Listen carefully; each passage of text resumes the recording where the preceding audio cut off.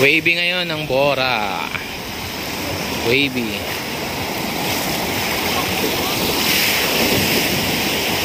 So, dito tayo ngayon sa Bora, sa front. Sa front ng grotto. So, yan. Kitang-kita natin kung gaano ka-wave. Pero, marami pa rin namang naliligo rito. So, yan, oh. maraming tao. Daming Power Rangers.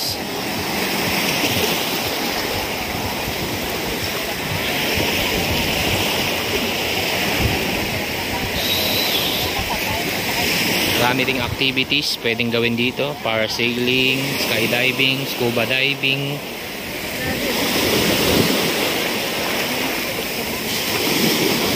Snorkeling.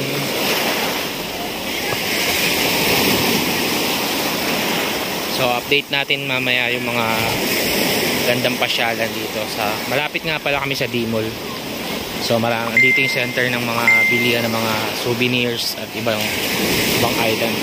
Maraming items na mabibili. Mga kung ano at mga pagkain at kung ano-ano pa.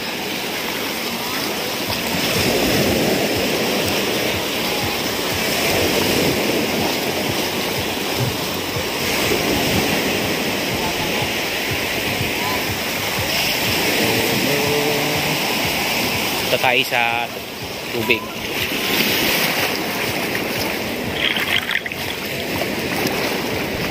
So, yan. Medyo talaga malakas yung alon.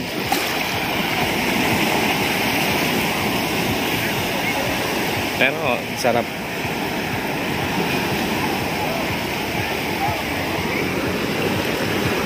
Medyo marami lang alaman. So, parang mga ah, lumot.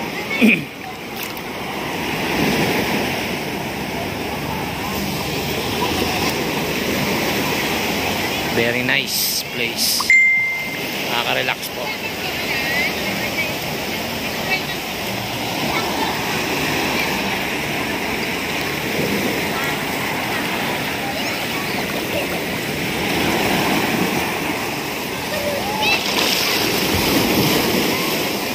So hanggang dito na lang mamaya po ulit.